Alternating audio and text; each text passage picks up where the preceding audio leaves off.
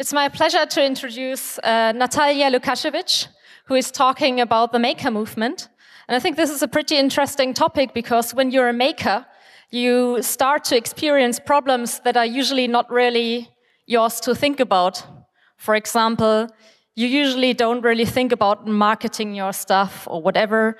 And um, you might think about copyrights. And this is something where we will hear many details about from Natalia, who has done her PhD thesis on this. So, great applause for Natalia.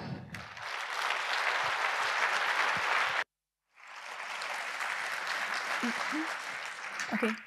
Uh, good evening, everyone. It's a great honor for me to be here. I'm a PhD student, and I will present you uh, my, um, my PhD research I conducted on patent flexibilities. In my research, I did comparative analysis, and I tried to analyze, um, analyze the patent flexibilities from the point of view of freedom to operate they, they provide. And I transferred my uh, results on the maker movement. And today I would like to um, give you some guidelines on the allowed use on patents so that you can uh, be free in your making activities.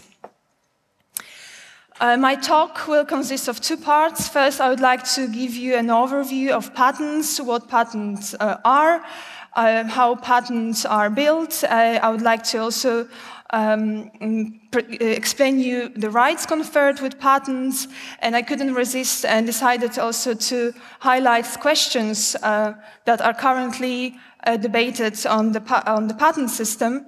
Then the second, the biggest part of my talk is on patent flexibilities. I will explain what patent flexibilities are. I will present you catalog, and then I will focus on chosen flexibilities that uh, can help you in, uh, in making and uh, will support your activities. So first, patents. Uh, a patent, a patent right is an exclusive right upon the use on, uh, of a technical uh, solution granted to inventor. Mm, patent uh, must meet three requirements. Well, these requirements differ, depends on jurisdiction. Here, the, the main one. So patents are, must be novel, non-obvious, and industrially applicable. They are disclosed, the, the solutions are disclosed in, uh, in a patent application that is published after 18 months from the date of patent, uh, filing patent and granted uh, by a patent office. And that's uh, the main difference between the copyright because copyright is granted automatically, whereas here you have to apply and you have to pay for a patent. Just to give you an example, here in Germany, um, the first minimum cost of a patent is around 5,000 euro, this including patent attorney. And of course, if you apply in more countries, the cost gets higher because you have to hire more patent attorneys, you have more uh, administrative fees to pay, etc. Um, patents are granted for 20 years, 20 years calculated from the date of patent application. This is how a patent looks like. Patent claims are the core part of the patent, where you determine the features of the protected, of the protected technical solution. Patent claims are supported by description and drawings. In description, you present the problem, the solution, the prior art, and the examples. Um, patent applications must comply with the requirement of sufficient disclosure. As said, patent claims are supported by description and drawings. They cannot be broader because uh, then they are not supported. Sufficient disclosure is called also enablement, and with this disclosure, a person skilled in the art should understand the technical teaching and should carry out uh, the, the, solution that, uh, that is protected. A modern patent system are around 200 years old. The first uh, US uh, Patent Act was um, enacted in 1790, then was followed by France. Of course, the first patent acts were, were afterwards modified and adjust to, uh, to, to, the conditions uh, and the needs, technological needs. Patents have various uh, justifications and various uh, theories. Here I presented um, only three I found the most important. First, reward theory. Patents are reward for undertaken efforts and investment. This reward theory underlines other uh, theories, and I find it the most important. The reward is the market monopoly for 20 years and the, uh, the exclusivity on the market to use, to license, uh, and to enforce the right. Then uh, another theory, incentive to disclose, as mentioned uh, already. Um, the sufficient disclosure is the uh, important requirement for every patent um, application.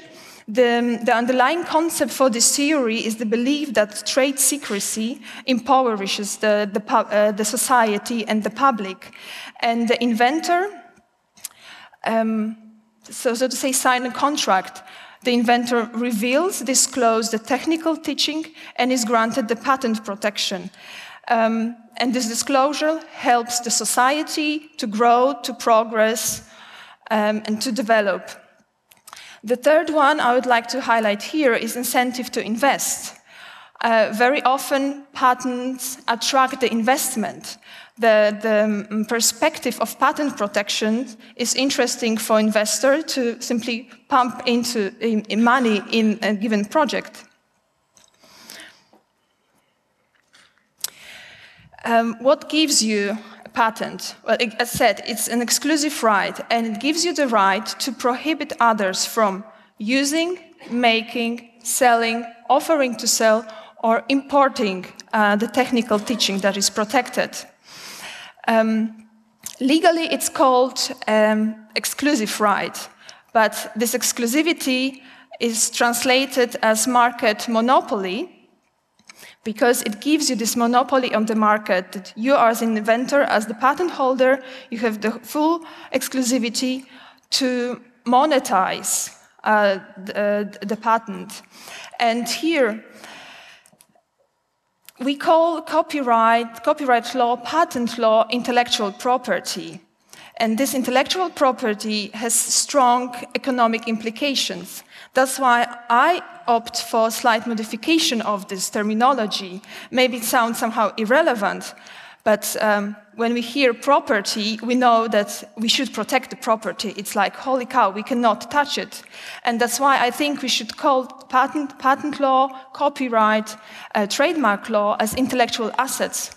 Because this term actually uh, clearly pronounce the purpose of the system. Now patents are tradable goods, as I will uh, show you um, in, in next slides. Yeah, questions. So there are various questions about the current state of the patent system. First, patentable subject matters.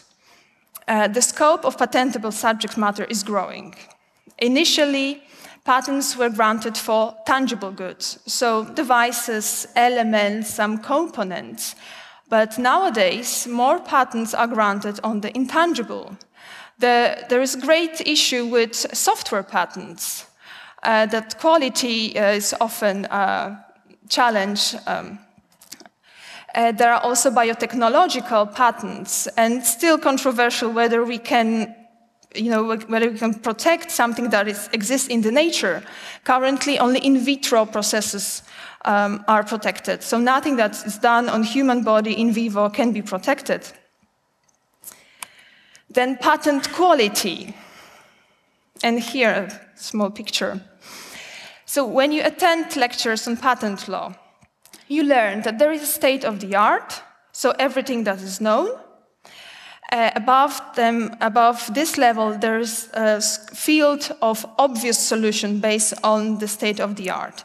And above this obvious level, there is non-obvious level of technical solutions because patents are granted for, should be granted for outstanding solutions. That's the theory. In my view, and I'm not alone, the practice shows something different. And this is pretty scary. Um, because the level of the patent threshold is currently pretty low. Uh, maybe some of you follow the, the website of the Electronic Frontier Foundation. They have very funny stuff, namely, they post every month a stupid patent of the month. And um, I think it was November, October, it was a patent on filming yoga class. And when I talk with uh, practitioners, they find such examples as anecdotes, and I don't think this is the case, because as mentioned, there are software patents, and the level of invalidity in this group is extremely high.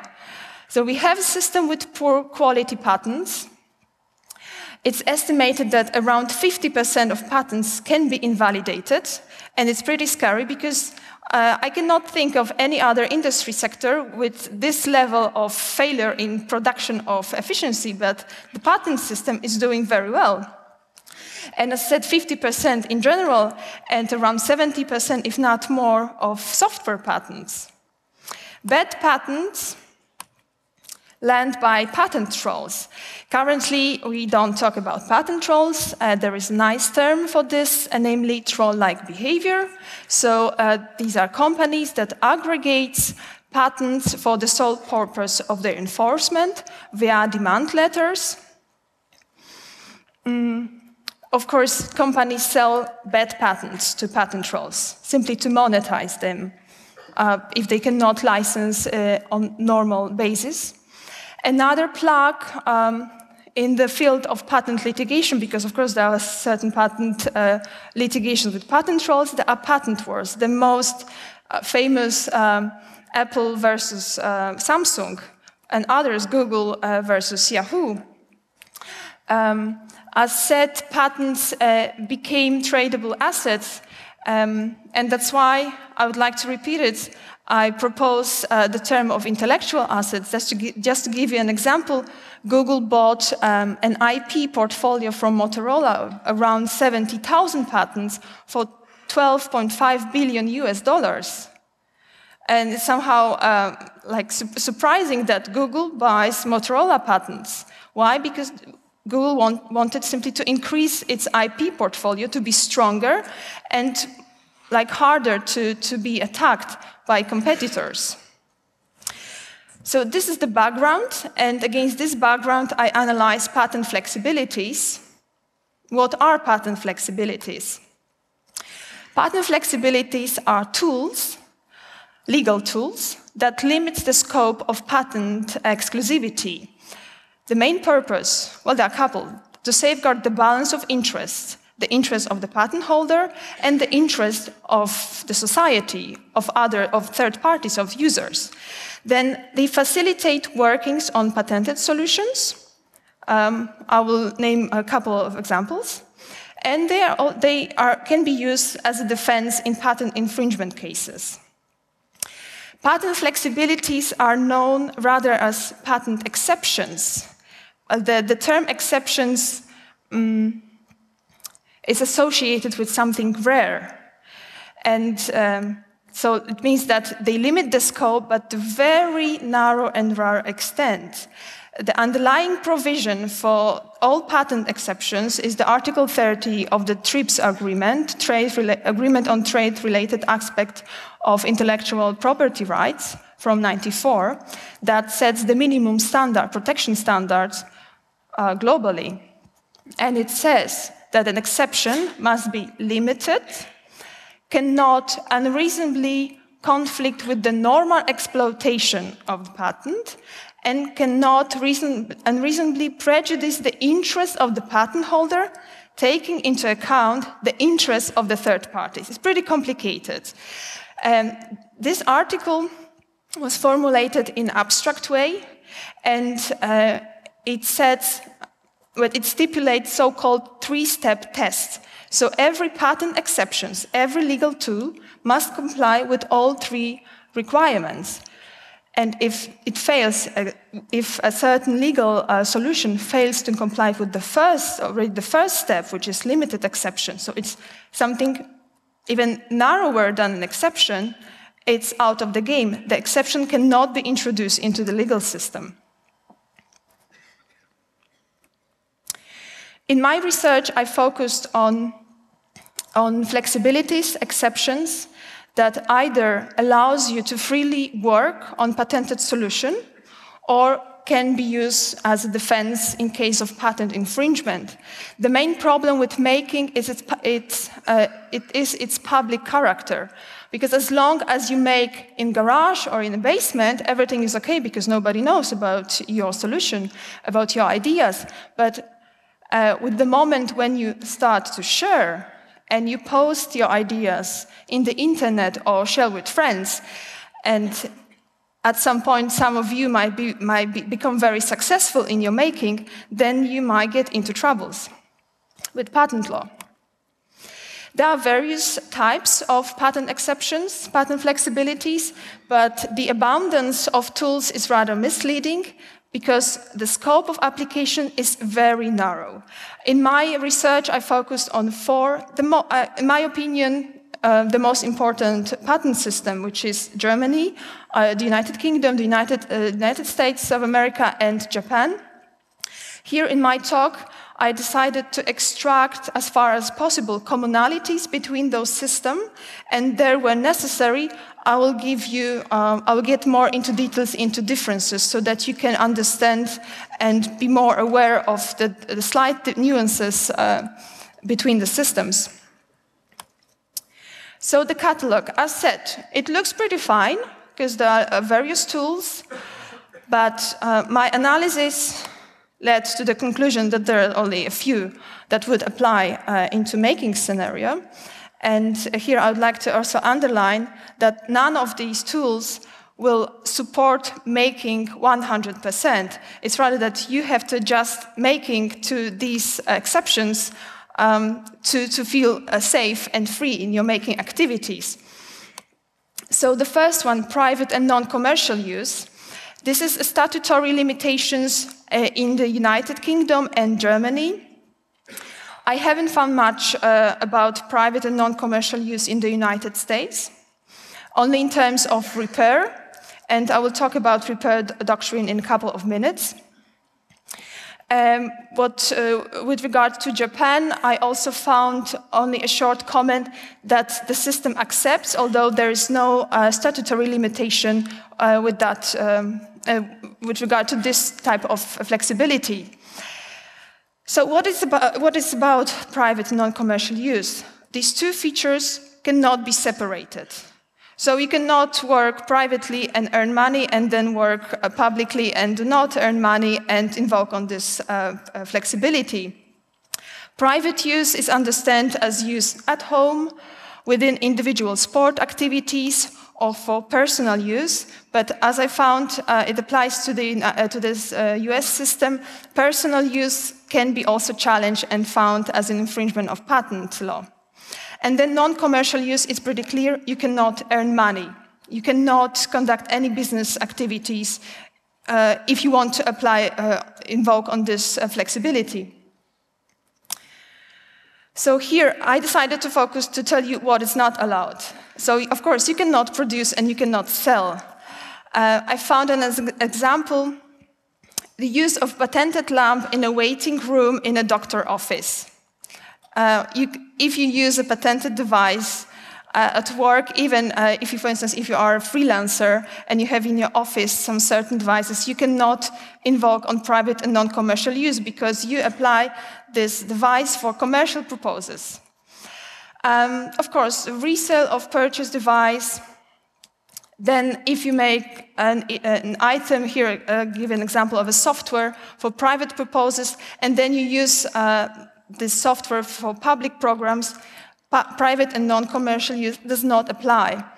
And the last example, this was um, yeah pretty tricky uh, because um, is a case from 1887 where um, defendant built a well on a farm and use it personally for personal purposes.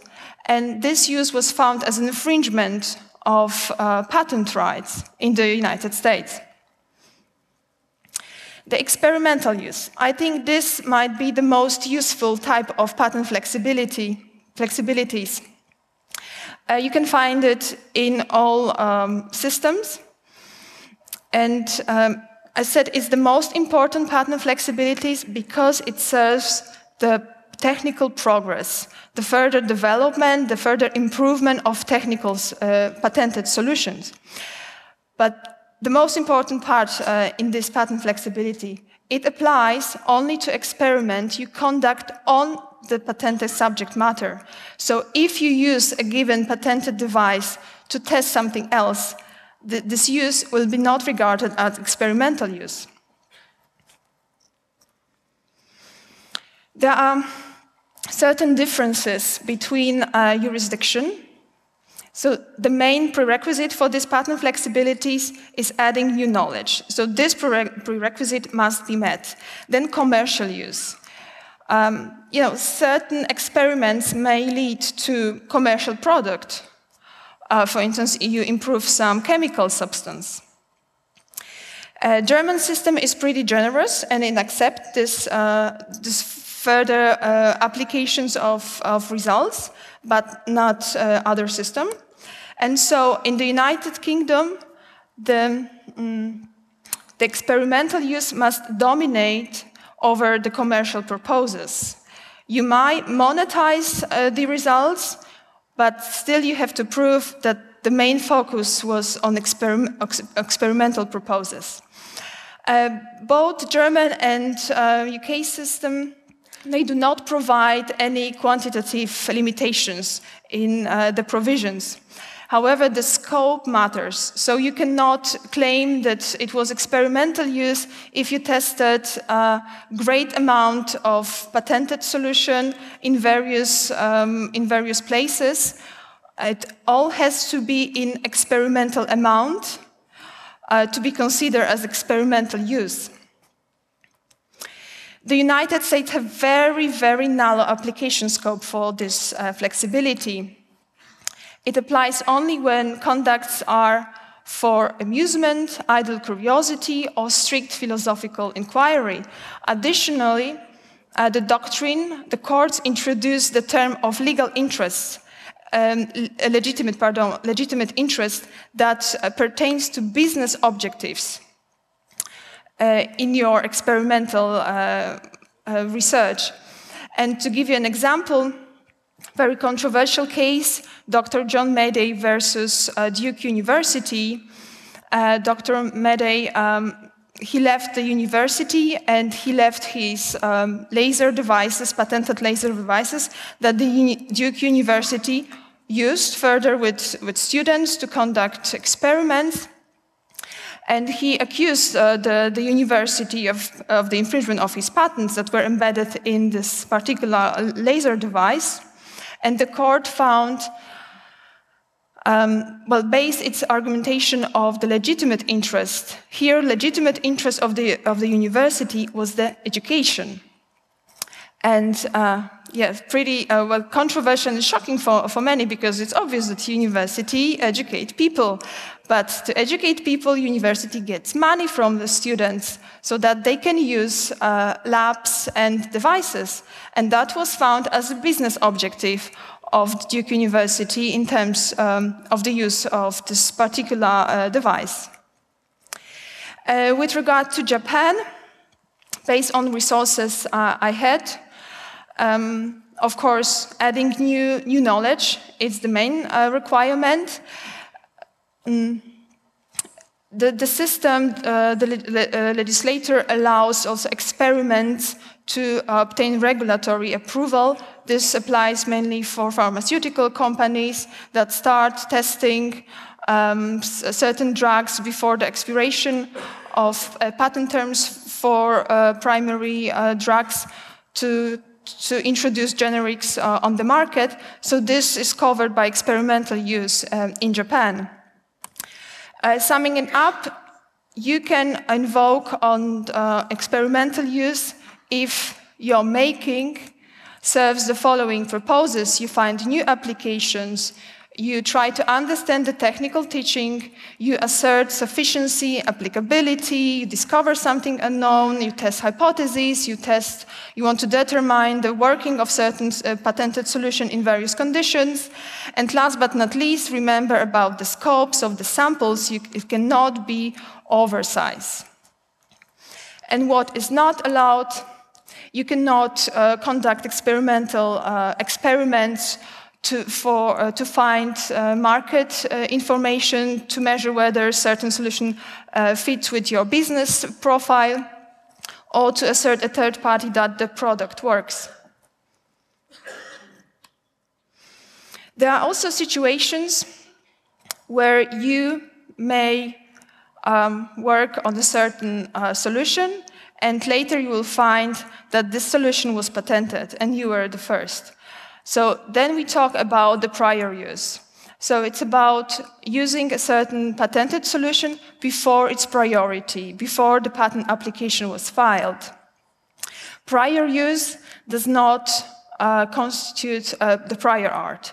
So you cannot claim prior use to invalidate a patent. Um, and of course, you start thinking about prior use when you, when you have uh, the situation of patent infringement. Um, uh, okay, so what do you need to apply to invoke on uh, prior use? First of all, you have to use um, the patented solution, and you, it cannot be stolen patented uh, idea. Um, the prior use served the protection of business um, activities. So if you claim the prior use, you must show that there were certain commercial um, activities undertaken or serious preparations for further commercial applications.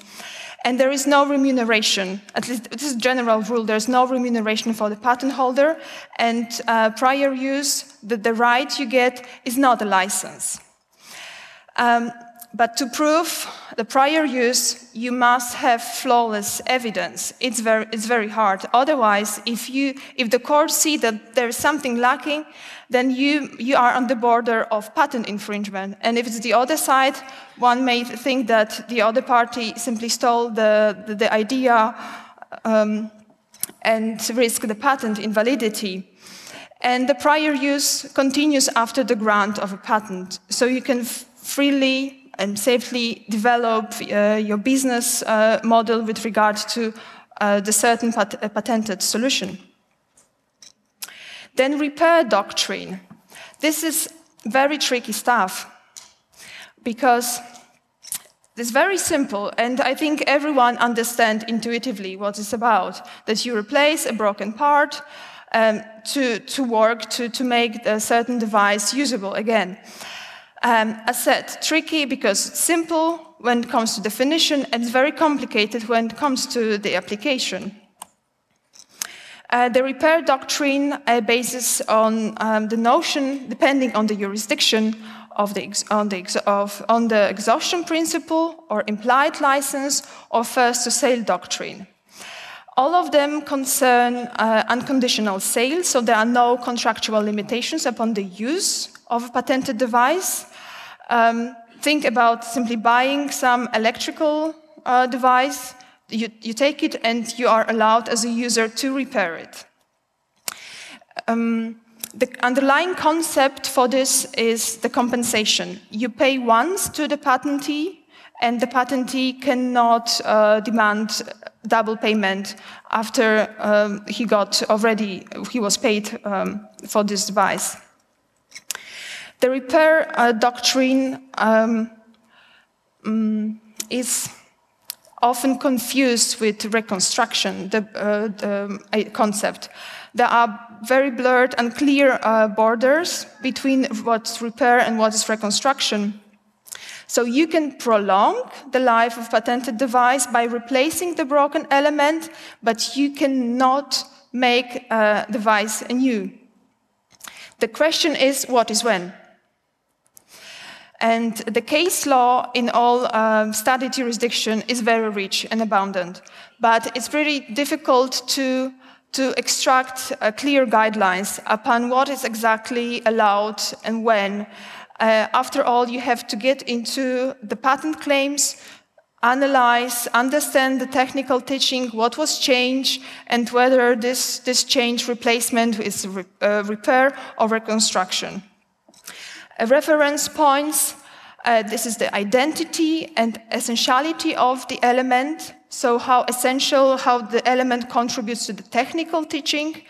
Uh, very often inventors um, explain or intend even for certain, certain parts to be replaced, then, then it's okay. Mm, yes, yeah, so I tried to, to pre present you certain rules that might be useful for you when uh, you make uh, on things. So if the replacement was intended by the patentee, you can feel safe and you can replace an element. Uh, if an element is of a short lifespan, for instance, a syringe in a syringe system, obviously you, you cannot buy a new, a new device if just you need to replace a syringe. Um, then if your working making that does not change the identity of the device, then it, the, your making might be considered as a repair. In the United States, there is an um, idea of uh, solution, the idea of akin to repair, so replacement akin to repair, where you can really change something in the device, but this applies only to unpatented elements. So again, you have to read the claims, patent claims, and understand whether this certain element is outside or within the scope of patent claims. And if a patented solution is a combination, you may replace um, individual elements because they are not covered by the patent, but the, the combination. What is not allowed so if you're working, your changes go beyond the necessary scope to restore normal utility of device. If you replace an essential part, uh, of an essential part in terms of, uh, in the light of patent claims and technical teaching. And if you remake or make new a patented device, then you cannot invoke on the repair doctrine. And challenges. As said, uh, very, it's very hard to extract guidelines to say, okay, in this situation, the, the, this is allowed or not. Um, there are various approaches, legal approaches. Um, sometimes court, one court applies one legal doctrine and reaches certain solution. Then uh, the court of appeal applies different doctrine, and then you have completely different solution. That's really tricky. Mm. Then you have to always identify patents in a given uh, patented uh, device. And nowadays it's pretty complicated because I cannot think of any device that would consist of a single patent. There are at least 10 and you have to get into uh, patent claims, understand what was patented, what you want to change. There is a lot of uh, responsibility on your side, after all, unfortunately. Then, there are also situations when your solution might be might be claimed as equivalent to the patented one. And what is an equivalent? An equivalent is an element that solves the patented prob well, the problem uh, in the patent in an equal but not identical way. And then we have the situation of equivalent of non-literal infringement.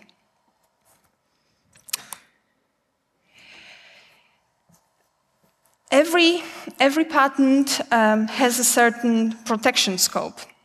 So the core is the patent claim, uh, our patent claims, as I told you, where you determine really the features of patented solution. Then you can expand it a bit by reading uh, descriptions and drawings to understand whether there are other solutions that fit into this patented solution. And all of this is estimated at the time of patent applications. But technology uh, progress is going forward, and there are some uh, solutions that can, was, cannot be anticipated by the patent, by, by the patent holder, and equivalents are determined at the time of infringement. To give you an example, there was a case um, in the United uh, Kingdom called Agmen, uh, Amgen, sorry, where a patented solution uh, concerned um, um, erythropoietin, the isolation of this gene, And the, the patented, uh, mm, well, the patent concerned isolating the gene and activating it uh, externally and then introducing into the host cell. Then the defendant found a new way of gene activating and was it did it internally, so in, in, the, in the cell. And well, I'm not a technical expert, but I found these two methods somehow completely different. And um, it was so that at the time of patent application, this internal uh, gene activation, activation method was not known, but at time of patent infringement, the court actually started considering whether these two methods can be found as equivalents. And if patent claims were not really focused only on this external gene activation uh, uh, formula, and if patent claims were formulated more up, in more abstract way, then most probably this, the second, um, the second um, way of gene activation could fall into the scope of patent, uh, patent claims and patent protection. And um, I would like to present you um, way you can defend yourself that your solution is not uh, an equivalent. And in Germany, and in Germany, uh, there is a Formstein doctrine, uh, this is based on a case from uh, 80s. And the patented solution uh, concerned stone built on the side of the road. And the technical solution uh, referred to the watering lines in the stones built on the, on the, on the road. And the infringing solution concerned also uh, stones built on the, the side uh, of the road but with the gaps between those stones. And the court found uh, that the element was equivalent because actually it had the same uh, function, but it was not identical. Moreover, uh, this is very important if you apply, if you want to invoke on this uh, protection of Formstein doctrine. The court found that this solution was not patented in the light of the prior art. Um, so when I go back to, to this slide, so this solution was outside the protection scope of uh, the patent, the infringed patent uh, on curbstone all, um, all defenses in equivalent, uh, all defenses um, that con concern equivalency are very challenging because you have to determine the scope of equivalence and then find whether your, your solution, your mate solution, uh, falls within the scope of, uh, of uh, protection. In the United States, there is reverse doctrine of equivalence. Uh, but first, I would start from the doctrine of equivalence. It says um, that an equivalent um, must have the same function, must have um, must um, carry out um, the patented uh, uh, technical teaching in the same way, and must obtain the same results. Um, when it comes to doctrine of equivalence, equivalence well, the uh, pioneer inventions have much greater equivalence, equivalency scope than improvements. And reverse doctrine of equivalence says that there is a, a literal infringement because the equivalent has the same function. And in the case where this doctrine was uh, formulated for the first time, the patented solution concerned air brakes, air brake system, and the infringing one, fluid pressure system. So, of course, all, both systems had the same function and the same effect, but the second one, the infringing one, conducted it, uh, carried out in substantially different way. It's very challenging to prove, and I cannot recall any case where um, reverse doctrine of equivalence was successful. But if you try, then you have to determine, it's much easier to determine first the scope of equivalence, to, to see what is non equivalent, and you must read the patent claims out, outside their literal meaning. In Japan, I call it Japanese mix because um, it's a mixture of the US doctrine of equivalence plus the Formstein doctrine from Germany. And in case there is an infringement concerning uh, Japanese patents, you, must, you may seek the protection um, which uh, is in the fourth um, requirement of the doctrine of equivalence, and you may try to prove that your solution uh, is not a patented one, is in the light of the prior art. You have to, in other ways, prove the obviousness of this, um, of this element. In the United Kingdom, there is the fence uh, called Gillette. Um, it's from 1913, that was uh, the time of, uh, of the patent infringement and the litigation. And this concerned safety razor system, improved safety razor system of Gillette. And then the defendant proved that this improvement was uh, obvious and anticipated in the light of the prior art.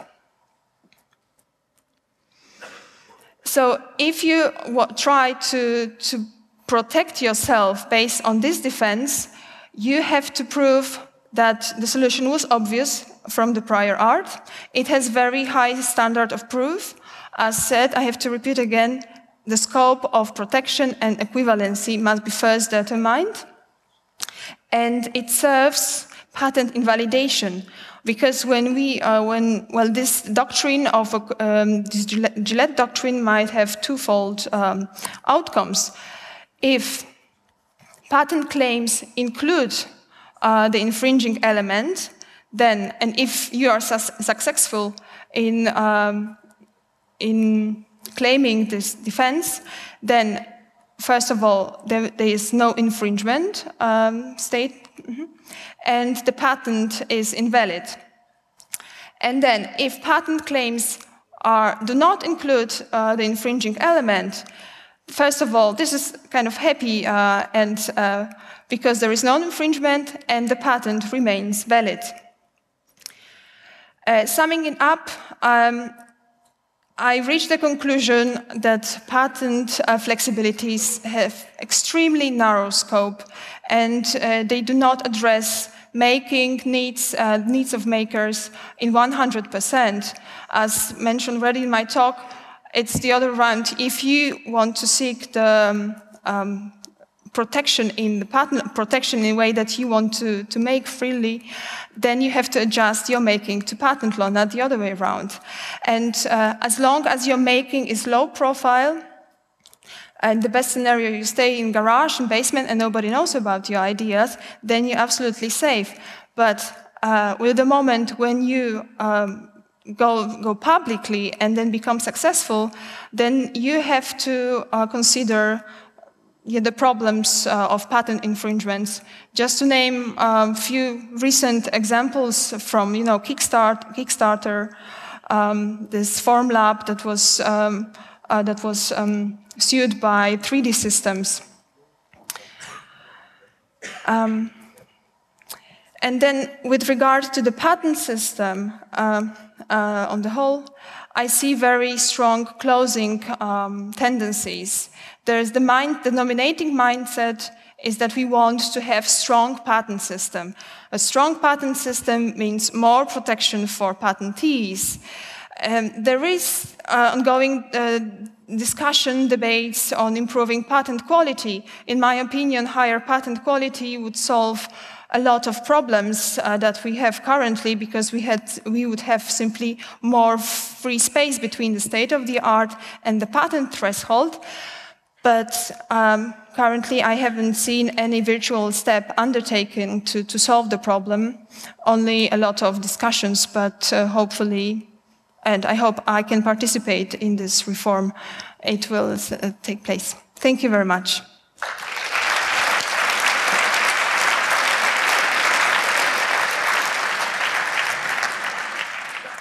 Thank you all for that round of applause. Uh, and thank, thank you, you, for the whole speech. So, are there any questions then please line up at the microphones.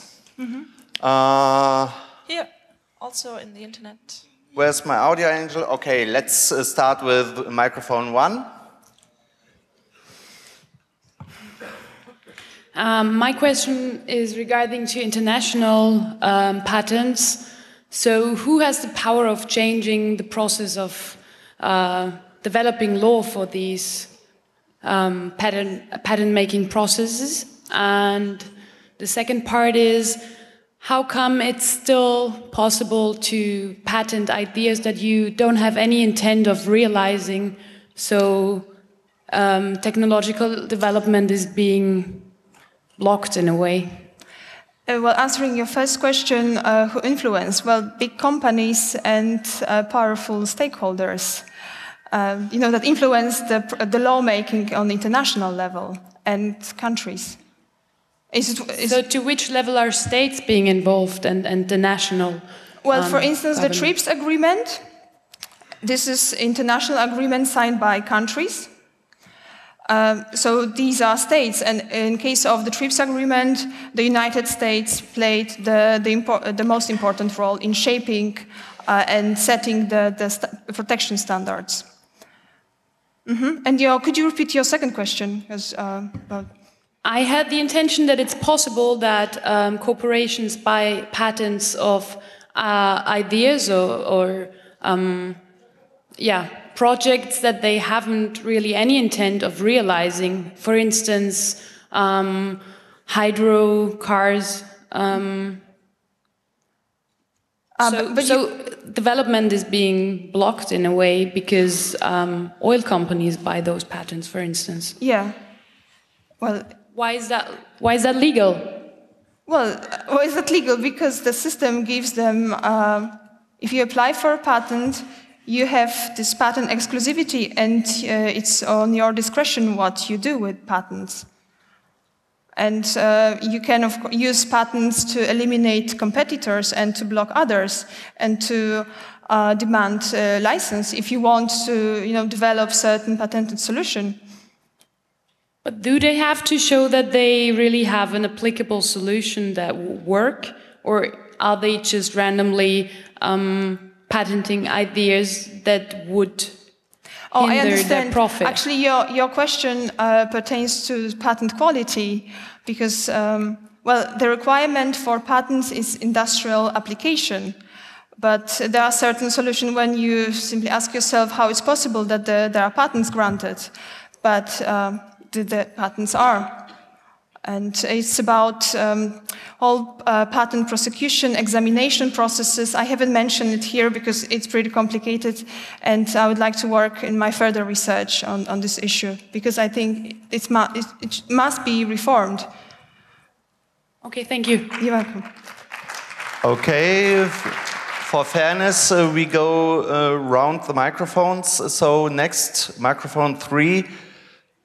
Hi, uh, if I invent something really awesome, uh, posters on my blog, and if then a company tries to patent afterwards, is that not possible anymore due to prior art then? And if they try to patent it, if I'm safe then because to prior use? Uh, well, if you post it, then you, of course, this is prior art. The question is whether patent examiner, uh, examiners will find this prior art, because there are cases where patents are granted after a couple of years. There is found prior art, for instance, in Norway at the university. Uh, but of course, then you have also uh, prior use, prior use right. Okay, microphone four, please now. Okay, I have uh, two questions. Um, yeah, the um, well, one question is um, if I if I uh, invent something or if I make something that um, the product of which would um, infringe on a patent and I post this on a site like say Thingiverse, could I be sued because I don't actually sell the product? Yes, it could be, because it's public use. Okay. yeah, even if you. Well, uh, as I, I, said that um, as long as you're low profile, you don't earn money, uh, you, are safe. But patent holders can enforce their rights simply to show that we are patent holders. And if you public you, some certain improvement of patented solution um, in the internet, you have to consider the, this option. So I don't need to make the product. Uh, you, you don't need to make. so just publishing the plan is enough to get me sued. Yeah, if, if you base on patented solution. Okay. Yes. And the other question is, how likely is it to get sued? Did you look, for example, at uh, um, software, uh, open source uh, software? Um, no, I uh, cannot answer. No, I, I, I, didn't look at the probability. Uh, there are certain uh, studies concerning patent trolls and their activities, how many lawsuits, but these studies are questionable and um, I don't rely uh, on, on, them because they measure normally how many lawsuits are in courts uh, by, you know, by patent trolls. Um, you can, well, I, I, read the press and there are uh, articles on, uh, on startups being sued by patent trolls, but I cannot estimate the probability. No, I think it would be interesting to look at the number of open source projects that got mm -hmm. sued. Yeah, I understand, but I cannot, I don't have the data. But I know that there are a defensive um, organization, even Linux has some, that they collect patents in case of uh, patent suit simply to defend, defend themselves of, uh, against uh, patent attacks. Okay, thank you. Um, now the Signal Angel uh, has a question. One, please, and then I make the next round. Okay, hi. Thank you very much for the talk. There was quite an um, attention also in the IRC. Everybody uh, uh, listened quietly, but they have a lot of questions too, and also similar to the ones already posed. But one is, um, and maybe we also uh, didn't understand it correctly, but you mentioned um, that one can only claim uh, experimental use if you have a business interest. Is that right? No. No. Okay, then maybe somebody understood no, it no. falsely. Yeah, yeah, maybe. Mm -hmm. Mm -hmm. Okay, because um, then it all wouldn't make sense anymore. Yeah, yeah. Well, yeah. you. Of course, you might, might have some uh, certain commercial intention uh, in of involved uh, in experimental use, but always in case of troubles in this uh, with that regard, you have to prove uh, you have to stress the experimental character of your undertakings, that you want to, you wanted to expand, uh, to add uh, new knowledge, find new applications, etc.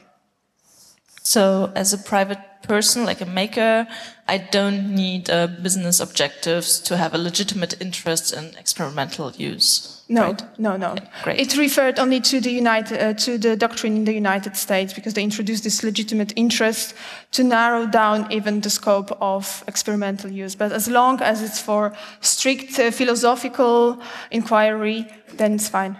Okay, thanks. Mm -hmm. Okay, we got eight minutes left of Q&A, so please keep it terse now, as I see that there are already four plus uh, three questions. Okay, I have a question regarding European patent mm -hmm. and the quality of translations. So I had a look at uh, some of the translations into my language, mm -hmm. and the quality was horrible. I think that it was very difficult to understand what was that patent about. Yeah. And do you think that the bad quality might be a way of defending yourself against uh, patent claims? What, what do you mean that? Uh, I, uh, I mean that European Patent Office uh, publishes uh, European patents mm -hmm. in, I yeah. think, four languages, which are translated by person. Machines. And also machines. The, mm -hmm. Yes, into other languages, it's a machine translation, yeah. and the quality of it is very bad. Yeah. So if I'm um, a private person and I don't, I don't have to know, for example, English, German, French, mm -hmm. and I mm-hmm. don't know Spanish, I think.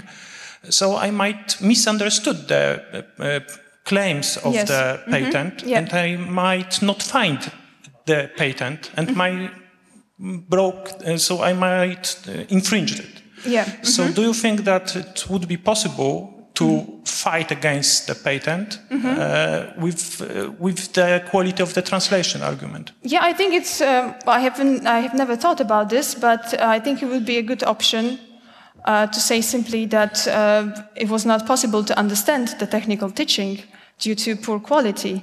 Yeah, absolutely, certainly. Okay, thank you. Thank you. Thank you very much. Okay, microphone one, please. Could you elaborate a bit more on the distinction between prior use and prior art? The same Yes. example as the first question. If I build something, Mm-hmm. document it publicly, put it on GitHub, whatever has a timestamp on it, Mm-hmm. And it will not be found while some company applies for a patent. Mm-hmm. But it's still there, it's in existence, it's documented publicly. Yes. What happens at that point if the company um, has the patent granted in the first place? Mm-hmm. What happens afterwards with it? With the prior use, you mean, or Yeah, because you ask because the prior art is everything that was published before the patent application just to, to make clear for everyone. So everything published patents articles leaflets uh, posts etc and um, the legal doctrine says that the prior use does not build does not equal the prior art. So you cannot uh, invalidate a patent based on the prior use, saying that I, I did it, I invented, because the idea is that prior use um, protects trade secrecy. That's different thing. So uh, I said to um, the, before that if it's posted, then you have the prior use because you invented first. Uh, and if you post it, of course, this creates already prior art. But when you protect, when you keep your business uh, model uh, secret, and there is patent application later, then this, the secrecy does not uh, work against the, the novelty of uh, the later patent. So the best way to defend our freedom to make things is to make them and document them publicly. Yes, I think creating prior, prior art. Okay, Yes. Thank you. Okay, microphone three, please. Then. I, I think you've almost just answered my question, but I'll, I, I wanted to make a parallel between uh, the issue of biopiracy and uh, the maker scene, because I, I feel it's very close in terms of how it functions. That once, a- once a company has patented a traditional use of the, uh, of the knowledge of plants, it becomes very difficult, even with the proof of prior use, to invalidate the, pat- the patent. And a lot of people recommend that to disclose the the information as much as possible, so that the the, pat- the patenting office uh, Yes. employee could find that content. Yes, mhm. Is that so? Yes, I feel like it's the same thing that should happen with the maker scene, and then I would like to also ask, maybe in complement, how much do you feel the Creative Commons license can can help in that process? Um, I've been asked about uh, Creative Commons license, open source license many times. I don't think it works for patents because of the mechanism behind uh, patents. Uh, I would like to elaborate um, it also in my further research. Um, well, my research, um, in my research, I propose a solution that would work for makers. It's not a statutory limitation because I would fail the, the first step of uh, Article 30 of the TRIPS agreement, but it's a different solution. Um, there are cer- certain open patent uh, um, licenses, but what I, I've seen and analyzed after all, these open licenses are, um, are created around patent pools. So you enter patent pool with your patent, and you give, um, uh, you you agree to um, others to use your patents. That's, that's the idea, and that's why I don't think that Creative Commons is can be uh, applied in patent law 100% simply by copy paste. Right. Um, I was just wondering also because the, obviously the maker scene is very proactive in inventing things and a lot of so they are actually creating a lot of prior art which Yes. is then um, uh, just being looked at by big companies that actually have the money to invest in a patent and well the person who was here before me was mentioning publishing on a weblog which uh, I don't think it's necessarily works because it's extremely easy to predate a post on, on a blog. Okay. Um, I was always taught that the best way to uh, to date something is basically to just like um, put uh, a description of the project in an envelope and to post it to oneself and not open the envelope. Do you think? Do you feel this is a good option? Well, I haven't thought about it. Actually, when you were asking a question, I thought about applying for patents simply to create prior art mm -hmm. and uh, to stop, you know, the patent prosecution after a certain time. It's also a common uh, oh, strategy. Okay. Yeah, but of course you need money to do so. Yes. Yeah yeah, that's that's the point. Yeah. Whereas for this solution, which I, I was always incentivized to do, you only need to uh, to pay for a stamp basically, and uh, the, the the stamp of the post shows when yeah. when this yeah. thing was made. If you haven't, as long as you haven't opened the envelope, it is a proof of date. Yes. Mm -hmm. Yeah, I think it, it should work. Yeah. Thank you. Thank you. Okay. Uh, sorry, at four, uh, the signal angel is next, and please keep it short. Sure.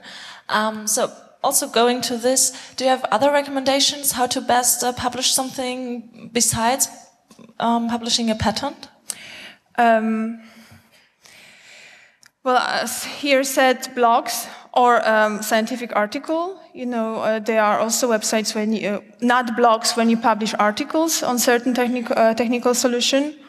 I think this this could be this should be really good uh, option. Um, Okay, patent applications are said too expensive. Of course, if you can invest, uh, you can do it. But I think creating prior art by publishing um, information in the internet that should work, and articles. I think scientific articles should be should be really fun. Mm -hmm. Okay. Yeah. Um, we uh, concerning the uh, patent documents themselves. Um, uh, as far as I know, they are public domain basically.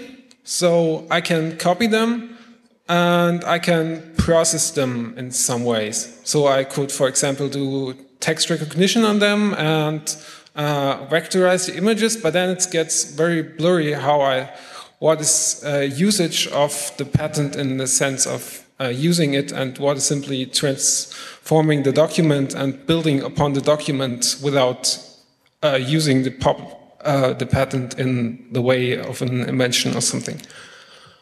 Um, could you elaborate on that?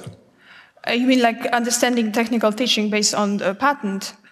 That's that's the that's your question. I'm sorry. Um, just uh, using it for, uh, for example, to um, make it easier to uh, like make new prior art or something just out of the patents. How, what can I do with the patent document without getting problems for patent infringement?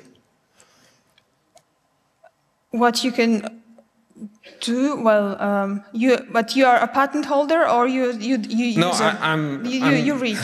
Uh -huh. Well, you I said you can try. Uh, you can work at home you can try to, to, to work the patented solution.